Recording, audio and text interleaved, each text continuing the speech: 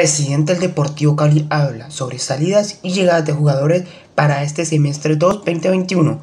Hola, sean bienvenidos a estas de por Cali News.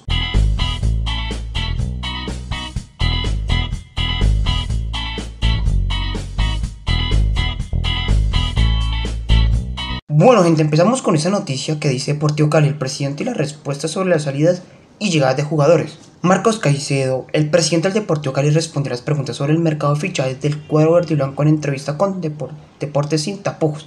De las noticias al respecto. Sobre Michael Ortega, admiro su fútbol. Lo conocí cuando arrancó, lo he visto entrenando. Llegó hace seis meses en una forma física que no era óptima. Ahora físicamente está impecable, es un jugador diferente. Muchos hinchas lo han aclamado. Algunos de las barradoras me han dicho la petición. Él está a punto a madurar impresionantemente. ¿Vendrá algún delantero goleador? Es muy difícil entrar a especular.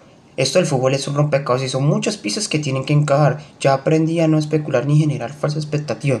Hay mucha bulla respecto a algunas posibilidades, pero quiero no hacerlo porque no es sano. Estamos tratando de solventar la falencia que tenemos en el último tercio, es algo que en lo que venimos trabajando. Oferta a Harold Preciado, él viene acompañándonos desde hace, hace un mes.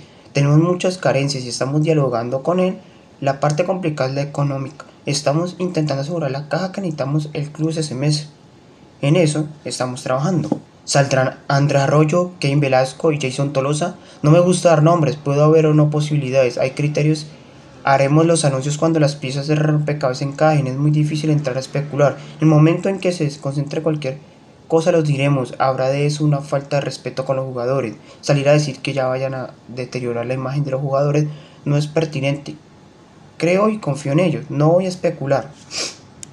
A hoy quienes salen del Deportivo Cali ninguno. Eso es parte del rompecabezas que estamos tratando de resolver aquí en, en un tuit de que dijo Deportes sin tapujos, arroba Deportes sin tapujo en exclusiva en Deportes sin tapujo. Marcos que presidente del Deportivo Cali, habló de, pues si quieren ver, quieren ver la conversación en el, pues en YouTube que dice, habló sobre Alfredo Arias, llega a ser de jugadores, situación económica del club, la venta de John Valencia si se hace o no mercado, en nueva marca deportiva y mucho más. Eso es lo que se habló.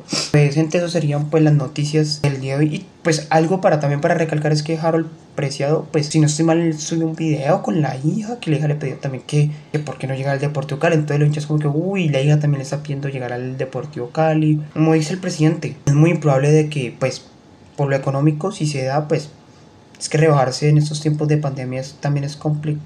Entonces, hay que esperar a ver qué sucede con, con Harold Preciado, porque ya por lo menos, bueno, ya tenemos un refuerzo. Michael, Michael Rodríguez, lo bueno es que él estaba gratis y que él decía yo juego por lo que me dé el club. Entonces era un aliento, como bueno, podemos llegar a un acuerdo fácilmente, pero lo de Harold Preciado, porque si, por ejemplo, que él llega, le hace una oferta interesante, pero llega otro equipo de Europa y bueno, le damos el doble. Pues él no se lo piensa y se va dice, no, pues tranquilos, pero o de pronto, como Michael Ortega, contratarlo por seis meses y luego mirar a ver si lo pueden vender o no. Porque yo también sería ser como caja.